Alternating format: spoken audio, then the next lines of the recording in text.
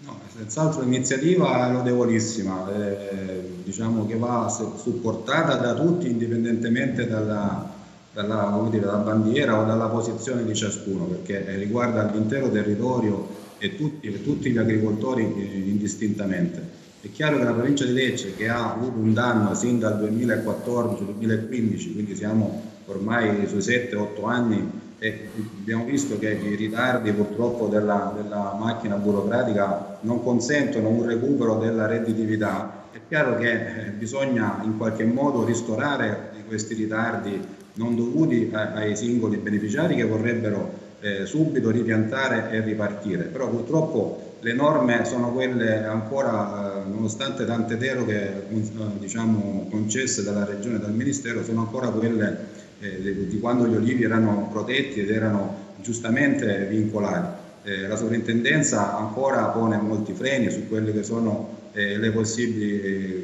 diciamo, attività di rimpianto e comunque ci sono tanti vincoli anche sulla risorsa idrica, molte zone sono di divieto di mungimento per cui non si possono fare pozzi. Bisognerebbe, come diceva lei, un piano veramente importante, organizzato e eh, sistematico per dare delle risposte per ogni singola area e soprattutto nel frattempo che questo eh, avvenga eh, bisogna ristorare gli agricoltori che ormai sono da 7-8 anni senza alcun indennizzo e senza alcun reddito. Per cui i tre anni previsti dalla normativa ordinaria sono superati, sono, non sono più come dire, all'ordine del giorno, bisogna sicuramente portarlo almeno a cinque anni perché eh, il mancato reddito ormai è praticamente per otto anni, le aziende hanno già, sono otto anni che non hanno reddito